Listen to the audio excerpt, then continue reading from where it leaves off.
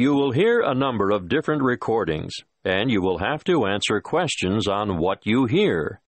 There will be time for you to read the instructions and questions, and you will have a chance to check your work.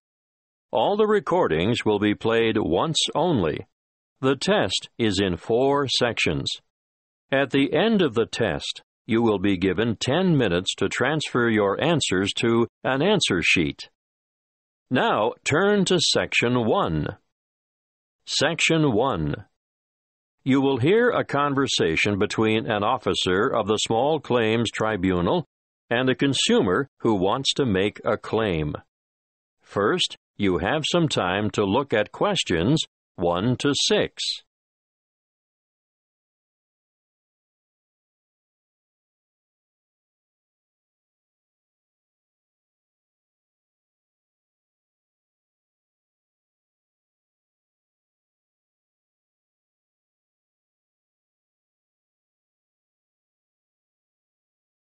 You will see that there is an example that has been done for you.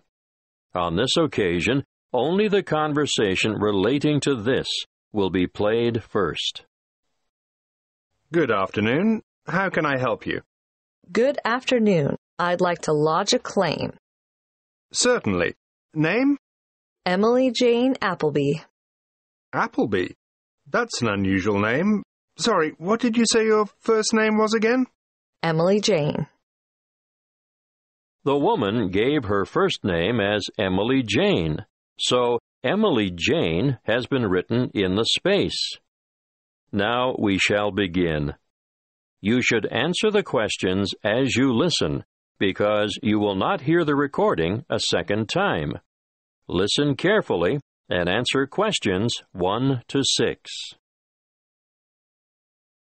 Good afternoon. How can I help you? Good afternoon. I'd like to lodge a claim. Certainly. Name? Emily Jane Appleby. Appleby. That's an unusual name. Sorry, what did you say your first name was again? Emily Jane. Now, Miss Appleton, could you please fill in this claim form? I've never done that before. Can you help me? Yes, of course. The first part is for your, the claimant's, details. Where do you live? Um, at 1 Uranga Street, Durham. How do you spell Durham? D U R H A M. Of course, I should know that. But it's just one of those names that sounds quite different from the way you spell it. It is confusing. I've seen it spelt with two R's. And what's the postcode for Durham? 4105. Good. And do you work? No, not at the moment. Okay, so no work number. What about a home phone number? Yes, I can give you that. It's 7848 3762. 7848. 3762. Right.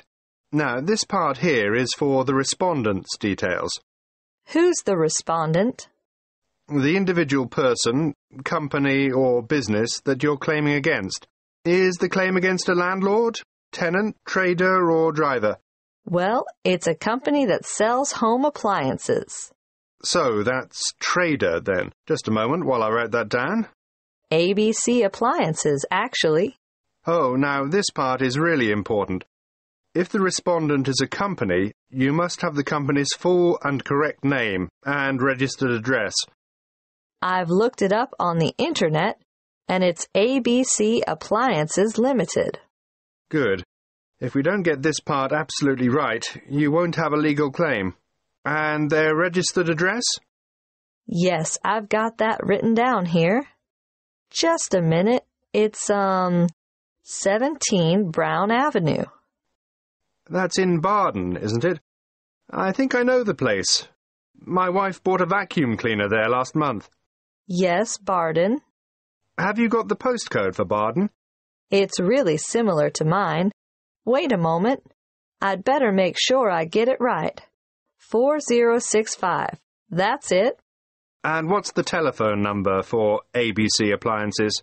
Oh, um, 7232 4681. Good. Got that. Now, in the third part of this form, we get to the actual goods or services that are in dispute. I assume you made a purchase from them. Yes, that's right. On the 3rd of February, 2011. And did the goods have any sort of guarantee or warranty? Yes, but only for six months. So it was just a six month warranty. Yes, they offered me an extended warranty for three years. But I would have had to pay extra for that. Oh, I see. Before you hear the rest of the conversation, you have some time to look at questions 7 to 10.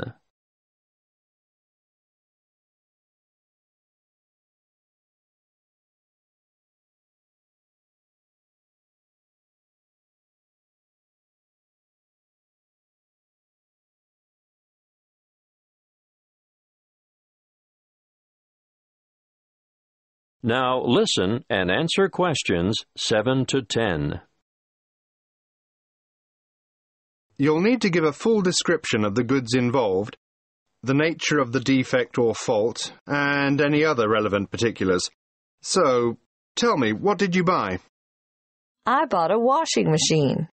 Yes, but what brand, model, and serial number? The brand name was Mallard, and it was the Whisper model. Serial number, just a moment. I've got the warranty papers in my bag. Yes, here it is. Serial number XY303. Great. Now I need to know how much you agreed to pay. It cost a thousand pounds. Did you trade in your old machine? Yes, as a matter of fact, I did. Okay. Now, what were you given for the trade in? Two hundred fifty pounds. So, in actual fact, the purchase price you agreed on was £750. That's right. And they delivered the goods two days later, on the 5th of March, and picked up the trade in at the same time. Now, think carefully about this next question. What did the respondents say about the quality of the goods, or the way they would perform? The salesman who served me at the appliance shop said, The Mallard Whisper model has a much shorter cycle, so it uses less power. Oh, and he added, and it will also use less water. Is that true? Well, partly. It does seem to use less water, but both the wash cycle and the rinse cycle go on for much longer than my old machine, so I don't see how it can use less electricity. But the sales assistant also said, This model is whisper quiet. And is it? No, not at all. It's so noisy we can't hear the television in the next room.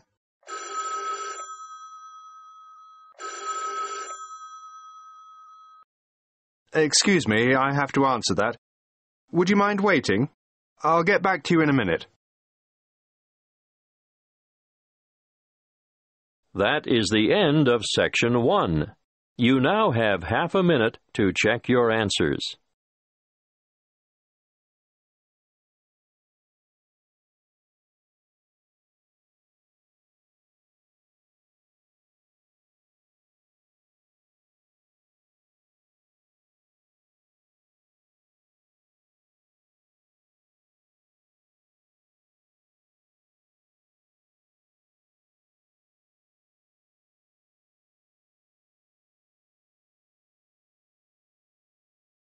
Now turn to Section 2. Section 2. You will hear a representative from Dreamtime Tours giving information about a particular tour option. First, you have some time to look at questions 11 to 14.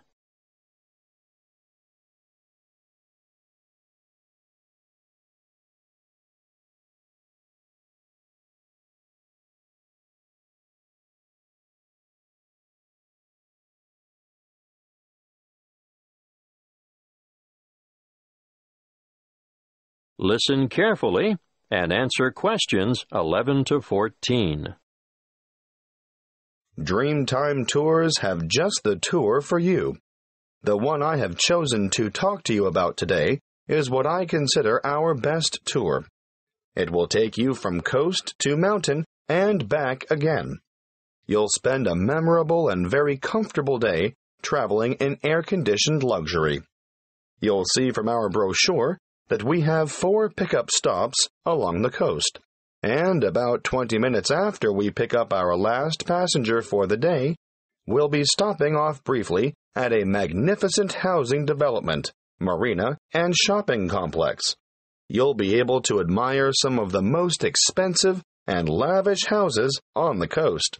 And here we'll take a quick walk around the waterfront. Now, despite its name, Hope Island, we can reach it without getting our feet wet or taking a boat ride. Hope Island is connected to the mainland by bridges. From there, we head inland to the beautiful Tamborine Mountain. You'll have time to browse in the many specialty shops, or you can sit and relax at a friendly outdoor cafe. We board the bus again and pass through an old timber milling town on our way to O'Reilly's Green Mountains. Once there, you might wish to venture across the famous Treetop Walk, which is a bridge suspended in the canopy of a rainforest. Definitely not for the faint hearted. If you're not up to the excitement of this walk, or perhaps after you've done it, why not enjoy lunch on the balcony of O'Reilly's restaurant? Before we leave, you'll have time for a stroll through the botanical gardens, or perhaps you'd like to feed the beautiful parrots and other birds. We'll supply the bird seed. From O'Reilly's, we travel to an alpaca farm for a demonstration, and of course, there'll be a photo opportunity for you with these gorgeous animals before returning to the coach for the journey back to your original departure point. Before you hear the rest of the talk, you have some time to look at questions 15 to 20.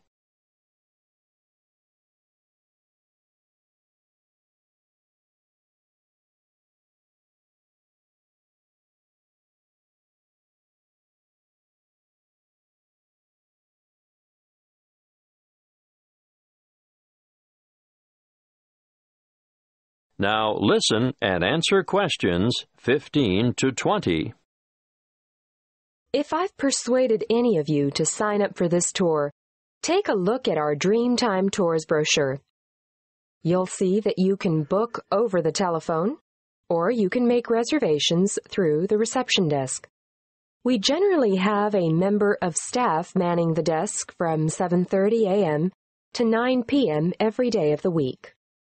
Don't hesitate to ask reception staff any questions that you might have about this tour or any other tour, and be sure to make it known if you have any special needs. We'll do our best to make your trip rewarding and worthwhile. If this is the tour you want, be sure to specify Green Mountain Tour and note that these excursions are full day tours on three days of the week only Sunday, Monday, and Friday, although we're hoping to have a Saturday tour available by next year. You'll see that fares are extremely reasonable, with each adult paying just $37. Now, that's not bad for a trip of around 280 kilometers, is it? If you want to bring the family, obviously, the Family Pass is great value at $94. That includes two adults and two children. But if you're an older adult, over 65, in other words, a senior citizen, your fare is discounted too. You'll pay a bit less than the full adult rate. Please note the departure times. We adhere to these strictly. The coach will leave the southernmost point of Coolangatta at 10 to 8 sharp, travel through Burleigh, and on to Surfer's Paradise, which is our most popular pickup point departing from there at half past eight in the morning. At a quarter to nine, we make our last pickup at Labrador.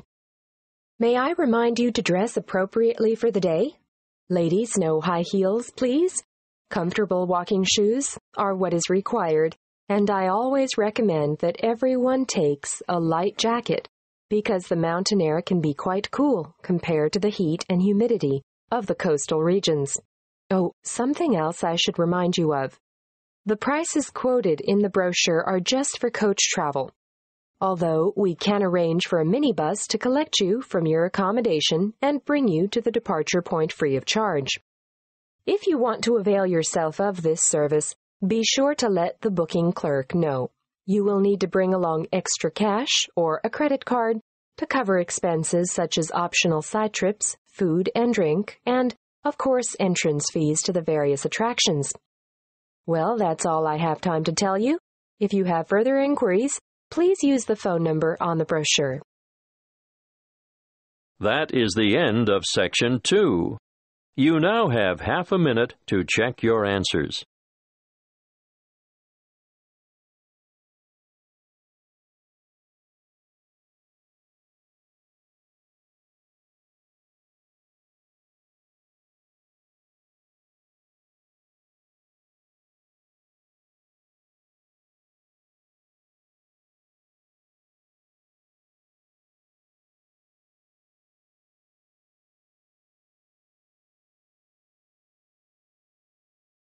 Now turn to Section 3. Section 3. You will hear a conversation between two training college students and their liaison officer who is enrolling them in a volunteer program which provides English language support in a local secondary school. First, you have some time to look at questions 21 to 25.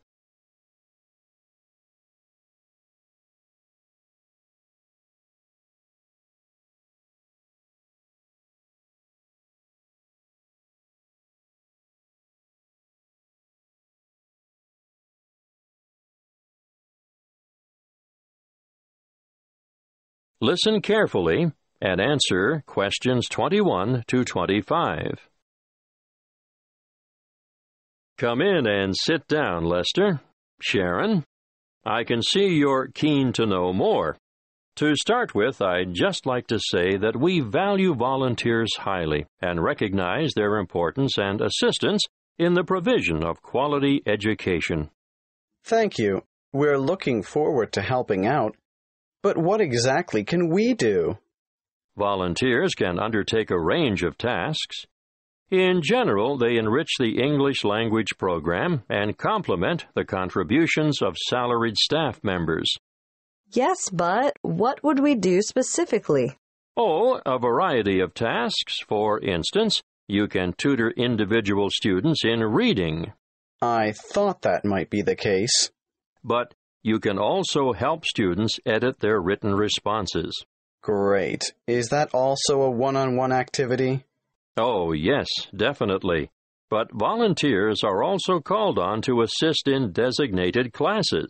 And what exactly would we do there? Well, it depends on the class, of course, but usually you take on the role of an assistant. A teacher's assistant? Yes, that's it. Sounds like fun and good preparation for our own careers. Then, an enormous area of assistance is developing students' organizational skills.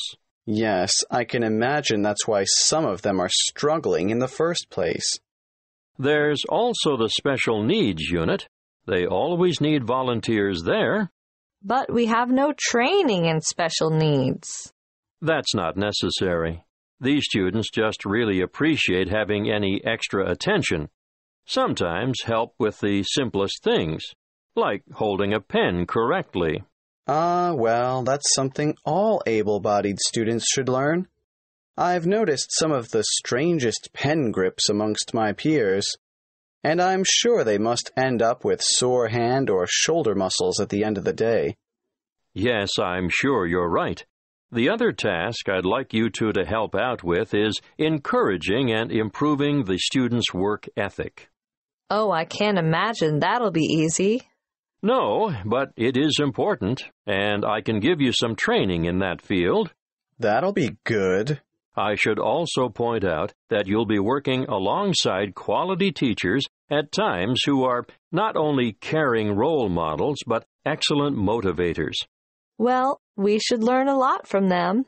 Yes, the teachers you'll be assigned to are innovative and very responsive to the different needs of individual students.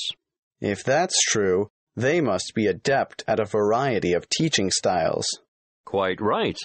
You know, part of my mission is to forge close partnerships between experienced teachers and trainees like yourselves. As far as I can see, everyone has something to gain from the exchange of information and skills, not just the students you're helping. Before you hear the rest of the conversation, you have some time to look at questions 26 to 30.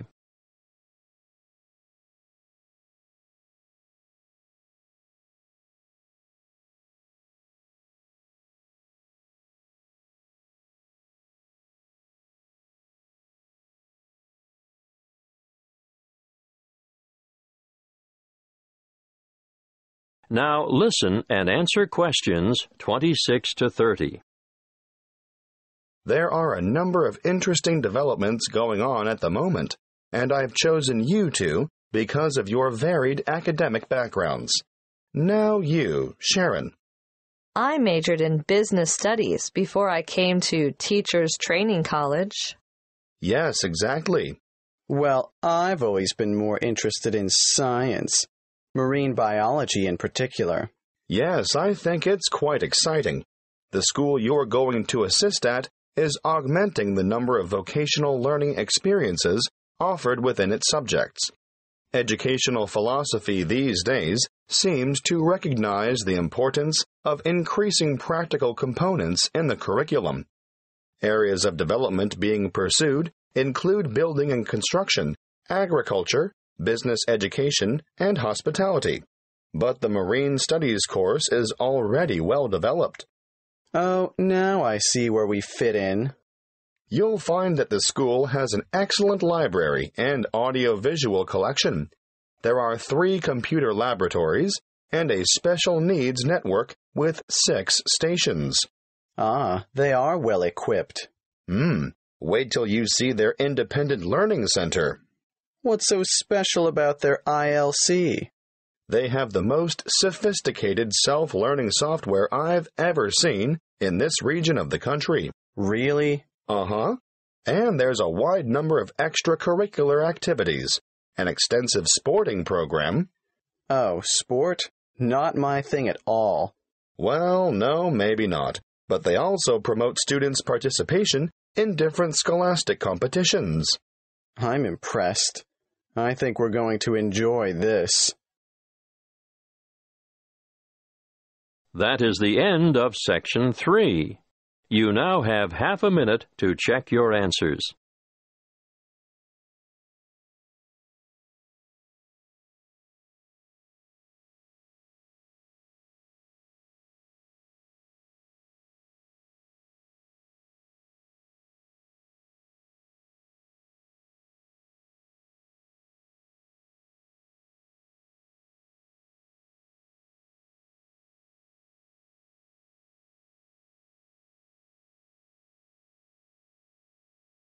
Now turn to Section 4. Section 4. You will hear a talk by a health studies lecturer on anxiety. First, you have some time to look at questions 31 to 40.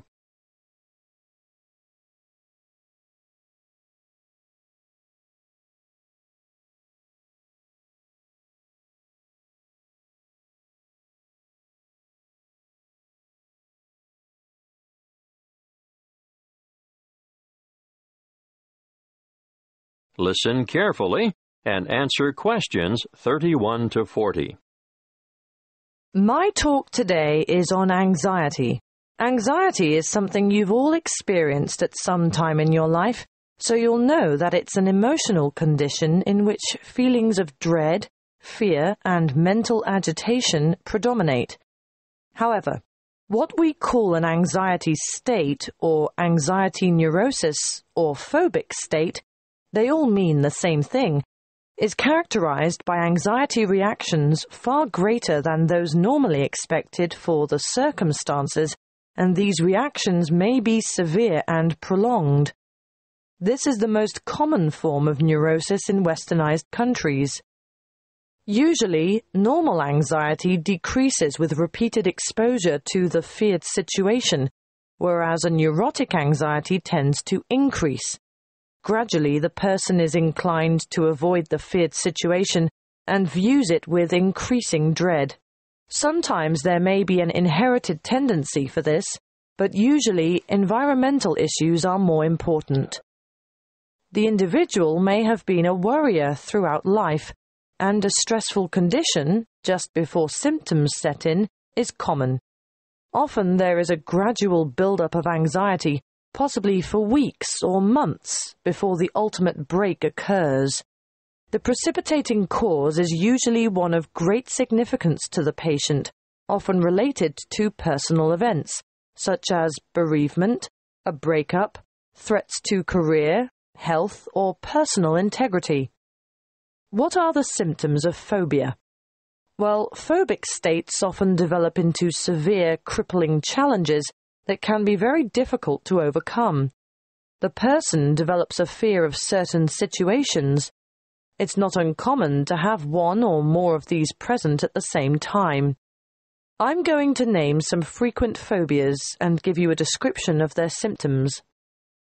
Let's start with agoraphobia, which is when the person has an intense anxiety about venturing outside the safety of the normal home surroundings. It may be impossible for this person to ever go out alone. Their fear of public or open spaces is completely irrational, and they often end up leading very secluded lives. Claustrophobia, on the other hand, is a morbid fear of closed in areas or places if you see me taking the stairs instead of the lift, think about it. Am I trying to get more exercise, or am I trying to avoid the confined interior of the lift? And I'm sure you all know people who are afraid of flying. Sometimes it's the fear of being enclosed in the aeroplane itself, and you can imagine how the cramped confines of airline toilets are really bad news for these sufferers. Now I'll move on to discuss social phobia, which, believe it or not, is more common in men. It's an acute anxiety that develops when they are in the presence of others. They feel self conscious, apprehensive, and embarrassed. If attention, real or imagined, is focused on the sufferer, he becomes uneasy and may blush, stammer, or stutter. Some sufferers even develop tremors, shaking or trembling movements of a part or parts of the body. Or another very common sign of their extreme discomfort is that they perspire profusely on their palms, under their arms, or on their feet. That brings me to the last one that I want to mention today, and that is single phobia. And no, it's not a fear of lifelong bachelorhood. This one is actually precipitated by an acute aversion to dogs, cats, spiders. You may have heard of the term arachnophobia. Well, it applies specifically to spiders, but any single thing can basically cause a strong aversion. Snakes, frogs, mice, or rats, for instance. I can assure you the list is unlimited. You name it, and someone is sure to have a phobia about it. Some people are terrified of the dark, for example, and I'm not talking about young children here. You'd be surprised how many adults are afflicted in this way. Well, I see our time is up. Next week I'll go into some of the treatments and therapies for phobias that have been used over the ages, and some of the relatively new drugs that have recently come on the scene. That is the end of section four. You now have half a minute to check your answers.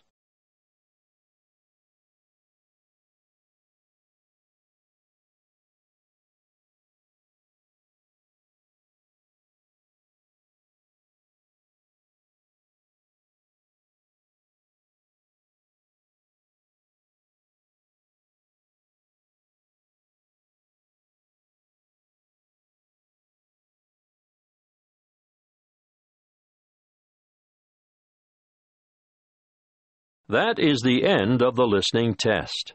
You now have 10 minutes to transfer your answers to the listening answer sheet.